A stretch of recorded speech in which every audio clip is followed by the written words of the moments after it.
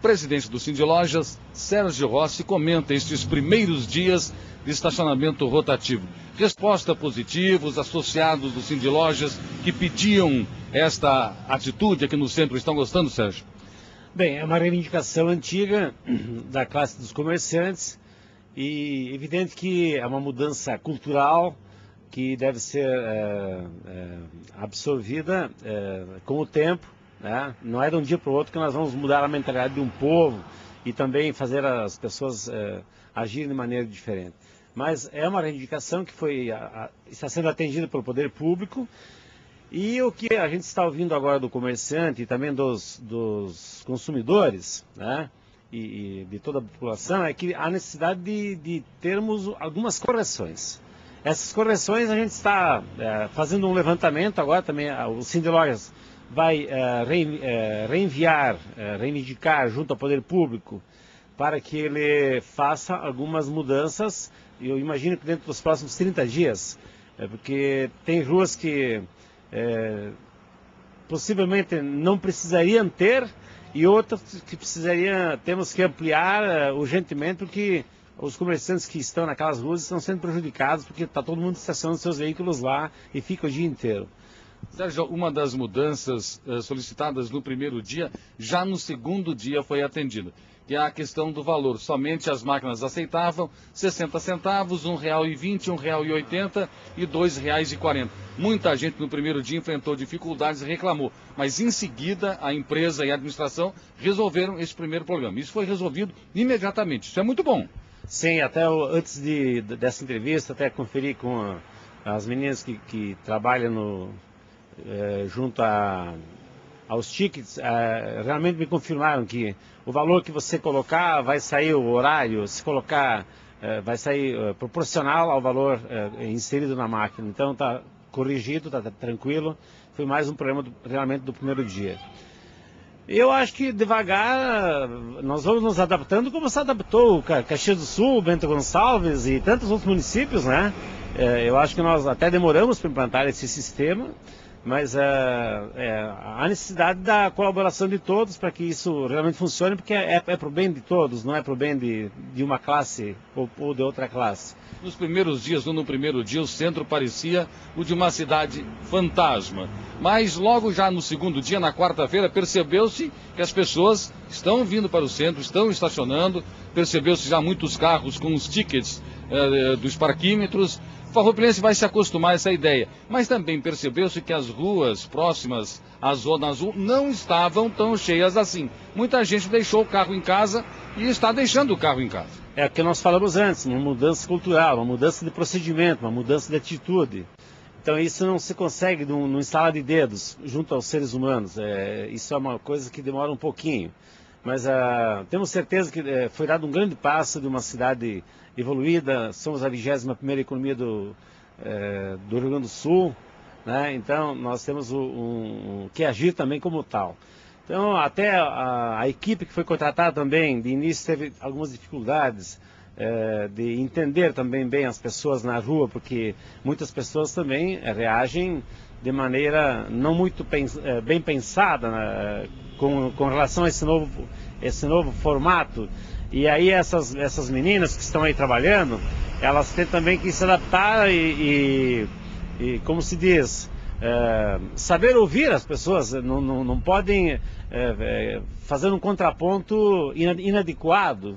Porque muitas vezes o consumidor, o proprietário de veículo que vem para o centro, na hora de inserir a moedinha na máquina ou, ou não ou faz de maneira correta, os valores não são aceitos, ele age até de cabeça quente e diz algumas coisas. E essas meninas, elas têm que ouvir e estão fazendo isso, elas foram preparadas, né? É, eu acho que sim, acho que houve uma preparação boa, mas assim mesmo é, tem é, pessoas que é, é, não conhecem bem ainda a nossa gente, por exemplo, que estão trabalhando nesse, nesse setor ou que não, nunca lidaram com, com, com um comércio, porque é um comércio, né? É uma, é uma venda de um produto. Estão vendendo um espaço vendendo no centro um, da cidade. Um espaço no centro da cidade, em lugar privilegiado. Então, né, Ou melhor, locando, né? É, é melhor, melhor assim. é, mas estão vendendo um serviço. É, então, isso tem que ser é, bem vendido. E talvez elas não foram bem preparadas como vendedoras, né? Porque nada melhor do que um bom diálogo. É, tem aí muitos exemplos de que faltou diálogo da, dessas meninas com, com, com, com, o consumidor e com o usuário. Então, é, algumas queixas surgiram em função disso. Por exemplo, eu, uma pessoa é, tirou um ticket de, com 60 centavos e é, daí um, um, um, segundo, dois depois ela se lembrou, mas é, 60 é, centavos, é, meia hora, não vai dar tempo para me fazer o que eu tenho que fazer, eu vou, pegar mais meia hora. Aí pego mais um ticket. Aí colocou no carro os dois ticketzinhos, né? Só que não, daí não valeu. Não, não valeu por causa. Vamos começar a fugir da chuva, né? Vai contando história, a gente vai fugindo da chuva aqui, vamos, porque começa, a chuva começa a nos atrapalhar aqui. Maravilha. Então, a, a pessoa mesmo provando que tinha pego os dois tickets, não havia cometido infração nenhuma, não, não lesou o sistema. É, mas, na verdade, isso não foi aceito. Tinha que ter um ticket só que desse os, os tantos minutos que a pessoa queria comprar. Ela gastou R$ 1,20 para meia hora. Isso, para meia hora e foi multado em 12 reais. Então essas pequenas coisas, que na verdade não são tão pequenas, no fim se tornam grandes, que devem ser corrigidas.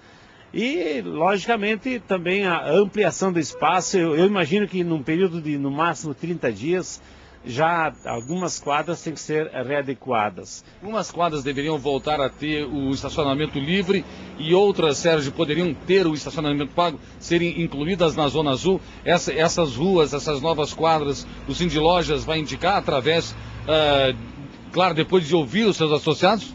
Nós estamos já ouvindo. Nós, em, em, poucos dias, já temos um levantamento pronto. Nós vamos reivindicar ao poder público uma conversa, uma reunião, né, onde nós vamos é, tentar fazer sempre pelo melhor, fazer com que a, o poder público haja de acordo com aquilo que é o pensamento médio da comunidade. Não adianta o, o Sérgio querer, o Reis querer, o poder público querer fazer de uma forma como eles pensam. Não. Nós temos que sempre fazer de acordo com o pensamento médio da comunidade. Então nós não erramos nunca daí. Agora ficou mais tranquilo também circular pelo centro, né? E acredito que deva ficar assim por um bom tempo, porque o Farroupilense está aprendendo a, a, a, a, estacionar o seu carro um pouco mais distante do centro da cidade. Está facilitando a vida para alguns, pode complicar para outros, mas no geral acredito que ficou melhor circular de carro pelo centro.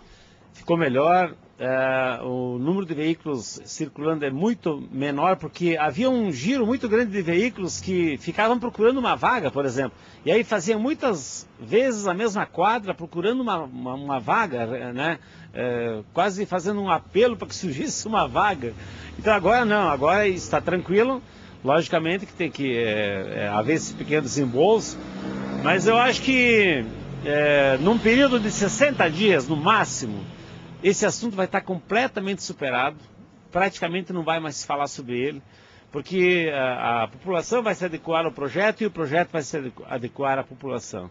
Então, acho que todo mundo vai sair ganhando com, com esse projeto aí. Vamos agora, então, provocar imediatamente uma discussão com o poder público sobre algumas adequações que tem que, ser, ser feitas, por exemplo. Encontrei um motoqueiro agora há pouquinho, e ele me disse que é, por que, que na Rui Barbosa, por exemplo, não tem um ponto para moto? de uma hora gratuito. Então a Rui Barbosa é, pode ter um local que seja destinado para atender também a essa categoria. Ou que os espaços para a utilização dos motociclistas. Né? Também circulando pelo centro, percebi que são poucas as vagas para motos. Isso deve ser ampliado também. Mas são aquelas pequenas adequações. Exatamente. Então, eu acho que o projeto não, não é engessado, não é um projeto definitivo, ele nunca, nunca foi interpretado como tal. Então agora essas pequenas adequações, só que elas têm que ser feitas, porque se elas não forem feitas, ficam, o projeto começa a ficar desacreditado, ele começa a ficar ruim para a população. Então algumas adequações têm que ser feitas num período muito curto, e é isso que nós vamos sugerir ao Poder Público Municipal. Obrigado ao presidente do Cindy Loja, Sérgio Rossi. Voltamos ao estúdio com Classiana Lamonato.